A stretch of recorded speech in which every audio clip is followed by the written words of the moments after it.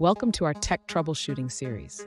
Today, we're tackling a frustrating issue that many AWS users encounter.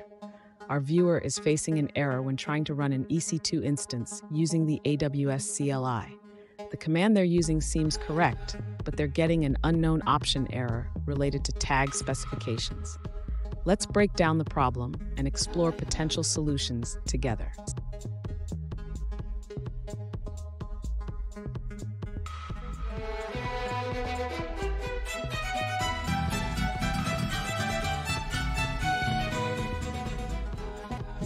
Welcome back to another technical video. Today we're going to be going through your question, answering it, and hopefully finding that solution for you. Guys, remember to stay just a little bit crazy like me, and hopefully you get to that resolution. Now, let's continue on to the video. Let's address the issue you're facing with the AWS CLI command. The error message indicates that the option for tag specifications is not recognized.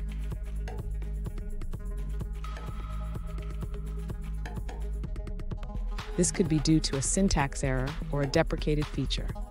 First, ensure that your AWS CLI is updated to the latest version, as older versions may not support certain options.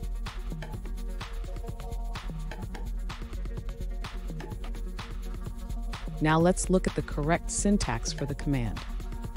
The tag specifications should be enclosed in single quotes, and the key value pairs should be formatted correctly.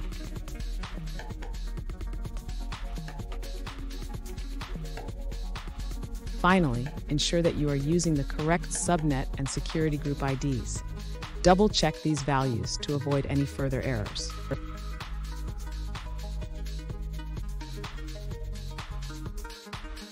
By following these steps, you should be able to successfully run your EC2 instance with the desired configurations. Happy cloud computing!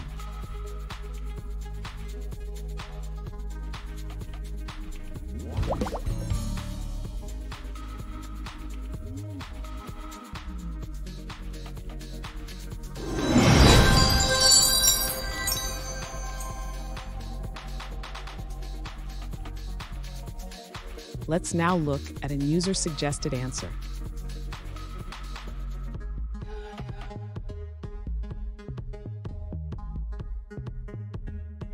If you're getting an unknown option error with the AWS CLI when using run instances, it might be because your AWS client is outdated.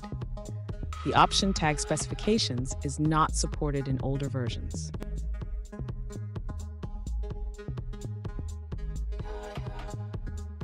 To fix this, you can upgrade your AWS CLI. If you're on OS X, simply run the command pip install upgrade user AWS CLI.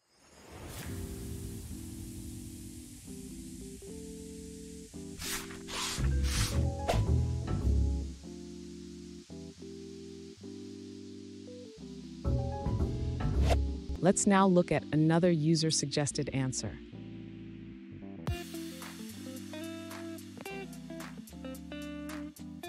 If you're getting an unknown option error with the AWS CLI when trying to run instances, it might be due to incorrect syntax. Check the official documentation for the correct command structure.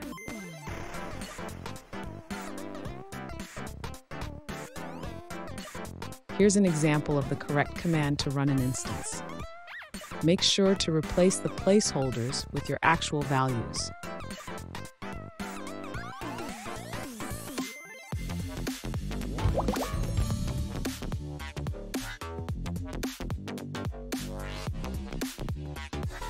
Let's now look at another user-suggested answer.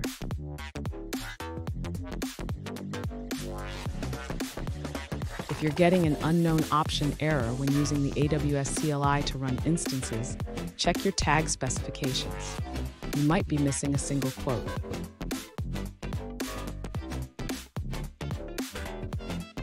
And that's it, guys. I hope that video helped find the resolution you're looking for. If it did, please, I'd appreciate it if you'd hit subscribe. Until the next time you need more technical help, I hope you have a good one. Cheers.